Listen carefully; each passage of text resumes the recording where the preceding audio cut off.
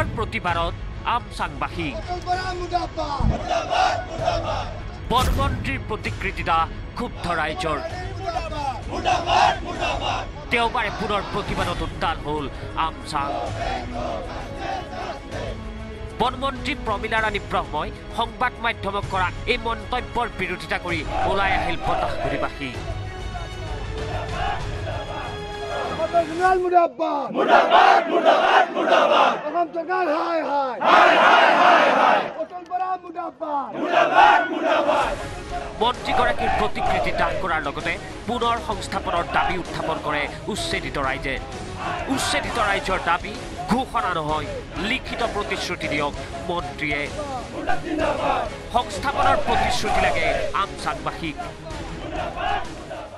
যিখিনি মানে মিছা বাতৰি তেওঁ ৰাইজক শুনাইছে সেইখিনি সেই সেই বাতৰিৰ অভিযোগত আমি প্ৰতিবাদ আজি সাব্যস্ত কৰিছোঁ। তেখেতে এগৰাকী মিথ্যাবাদী তেখেতে আমাক কাকো ইয়াত শান্তিৰে থাকিব দিয়া নাই আমাক কোনো বস্তু ওলাব সময় দিয়া নাই আমাৰ ঘৰৰ সম্প- সম্পন্ন বস্তু ভাঙি দিয়া হৈছে। আমি ৰেভিনিউ মাটিত আছোঁ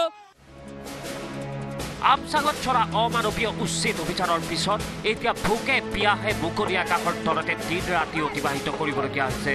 উচ্ছেদিত পৰিয়ালে। সৰ্বানন্দ সোণোৱালে অকণমানো দয়া মুণ্ডা নাই তেখেত এজন অসমীয়া মানুহ নহয়।